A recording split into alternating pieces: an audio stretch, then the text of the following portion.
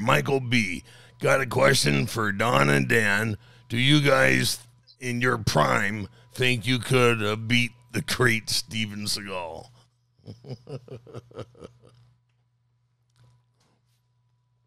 in what uh, you know uh, drinking eating at the local buffet uh, Yeah. martial arts uh, i don't know uh, no holds barred contest uh, I think he'd have us at the at the buffet for sure. You know, both of us together, we couldn't tag team.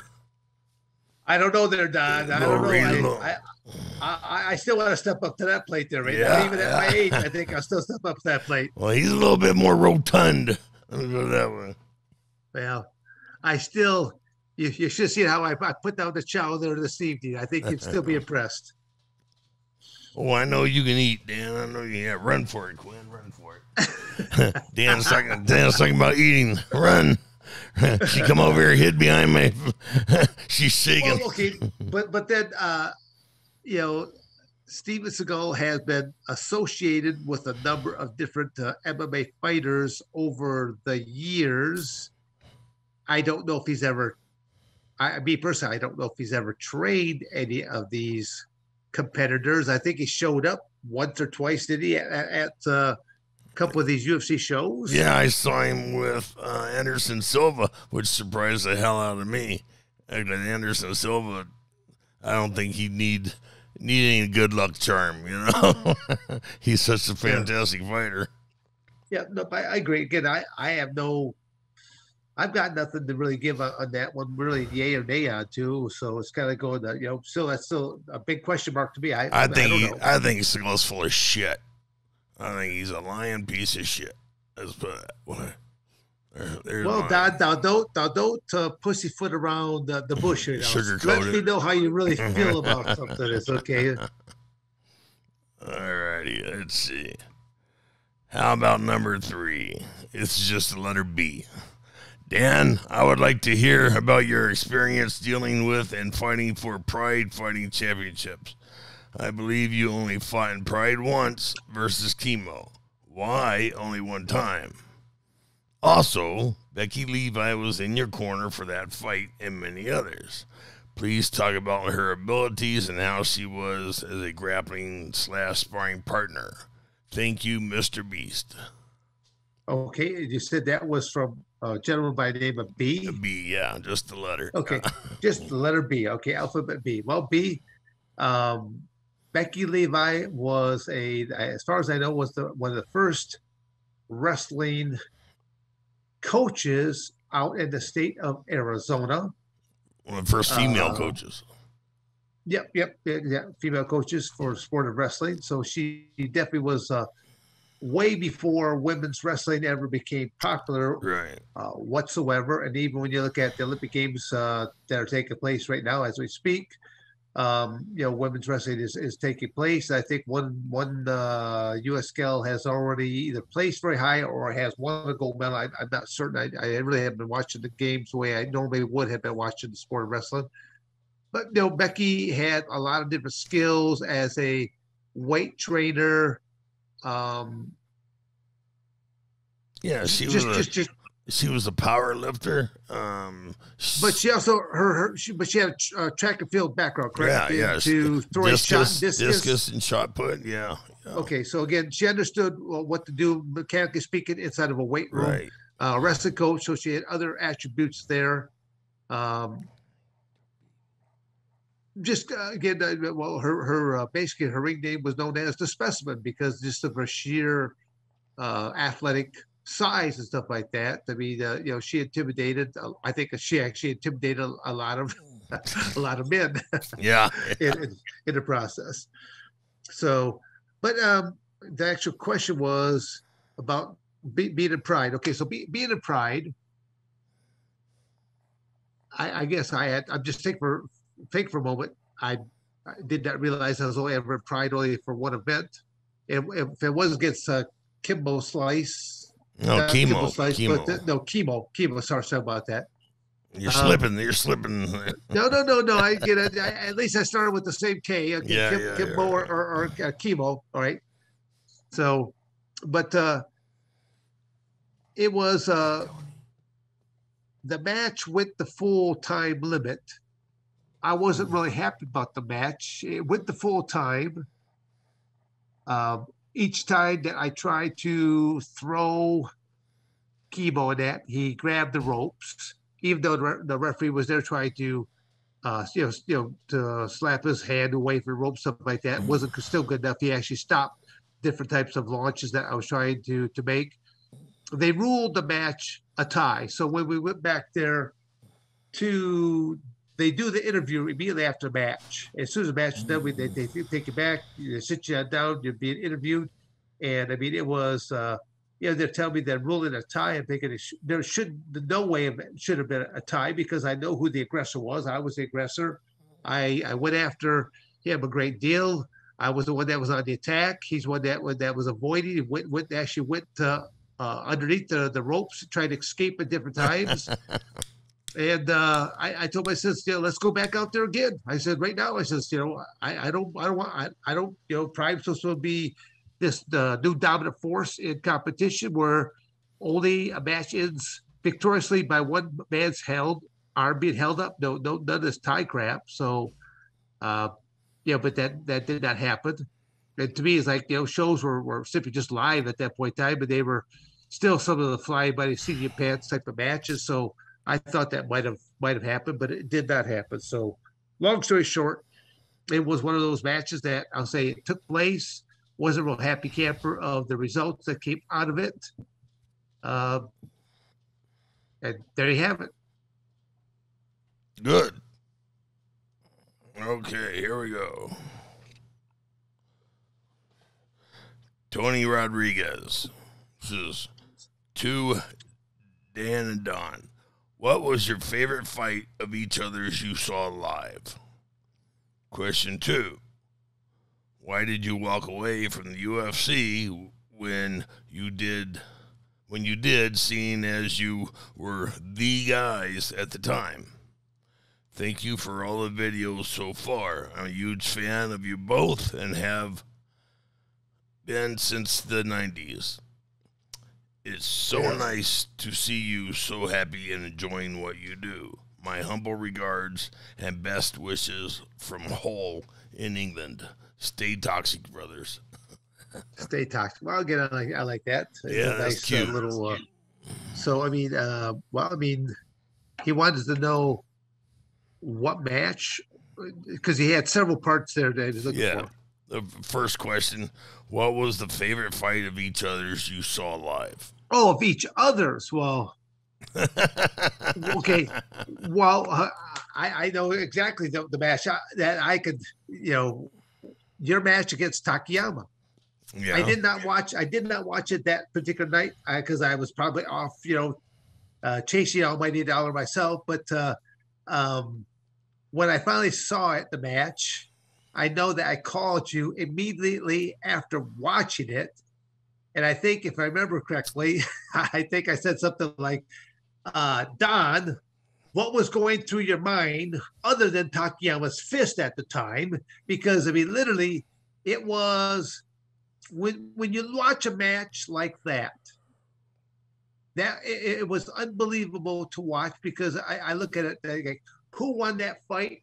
Well, the audience really is the true uh, the truest winners of that bout because they witnessed something that will probably never ever happen again. To see, I mean, literally when that referee signaled the match to start, the guys practically jogged towards each o- towards each other. As soon as you got within arm's reach, you started throwing punches towards each other. And as you throw punches right to, to each other, then you reach out and you literally reach up and you collar tie each other at the back of your head, and you're just punching each other. Um, almost looks like simultaneously you're just punching each other in the face. And now, what looks like to me like a game of chicken. It's like Yeah. I'm punching you in the face, you son of a bitch. Are you gonna give up? And I go, no, you son of a bitch. I'm gonna come. I'm gonna keep punching you in the face until you give up. And I'm thinking, who really won that? That bout was anyone who ended up watched that pay per view that night because it was Thank you. it was extraordinary. It's something that probably will never people will never witness something like that ever again. I mean, it literally that, that should go down in the archives of uh, greatest uh, MMA moments ever. And I'm not just saying it because you know my, my cohort there, but uh, no, I, I just I realistically look at that. It's like incredible, incredible, and the fact that you're still here doing this, and now both of you have had a professional wrestling career, and I want to make some of our viewers aware of this that Takayama, again, I might be off of my time frame, four, five, or six years back, you might be about this, was involved in a professional wrestling match and a very, very routine move uh, like a uh, leapfrog, uh, leapfrog. Uh, what, I think he's just doing a sunset flip. Yeah. Okay. I'm sorry. Yep. Sunset. Yep. Sunset flip. Went to just a simple sunset flip, which is one of the most basic moves ever taught. But because of of his, I don't maybe the, the size of, of who his opponent was, something like this, who, who either didn't do quite right, but right. Takayama in the process broke his neck, and is now a quadriplegic for life.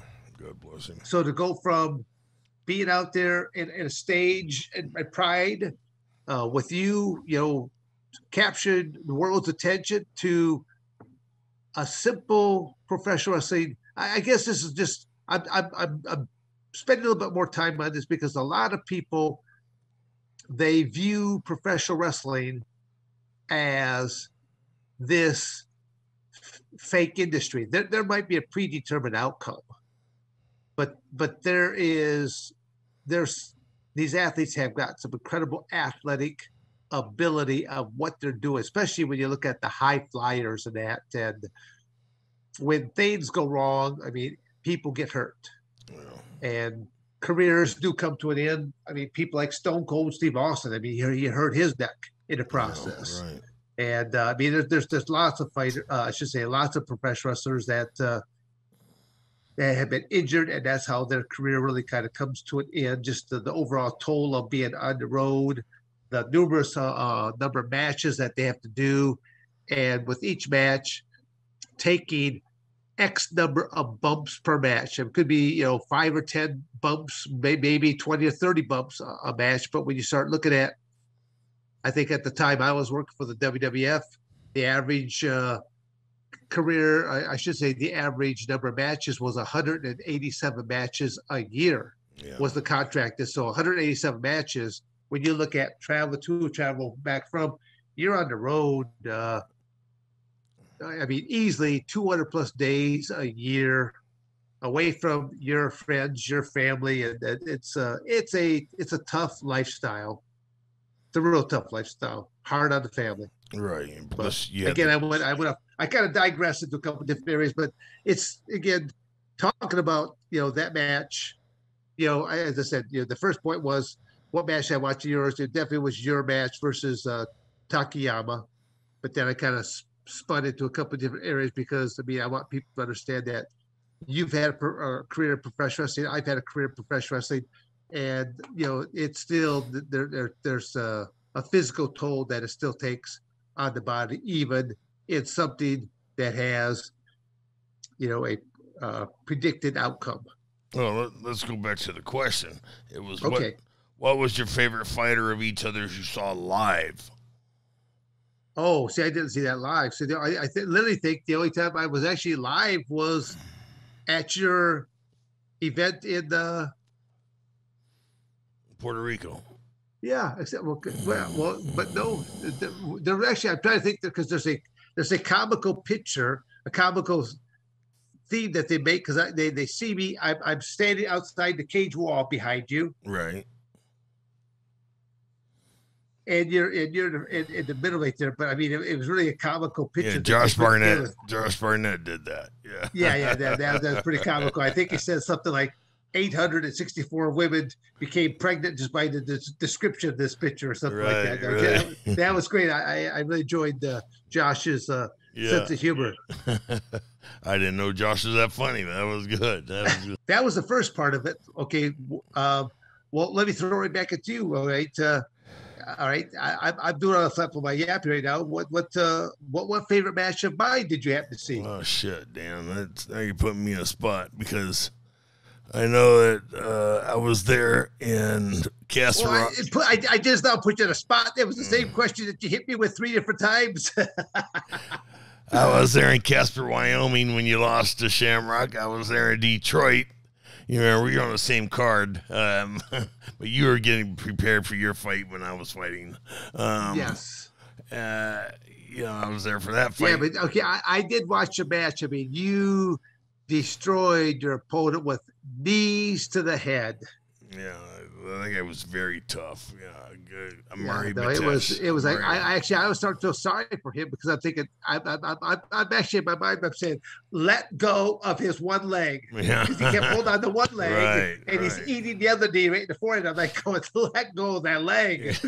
You know, you're gonna stop eating those knees, but. uh it would help you. I, I was trying to do that for his own safety, knowing that okay, this match is only now, yeah. and that's again that's where I understand this match is only now, but you have to live in this body for the rest of your life, and each time that you get hit to the head, the exterior might look okay, yeah. but what is happening to that gray matter up here?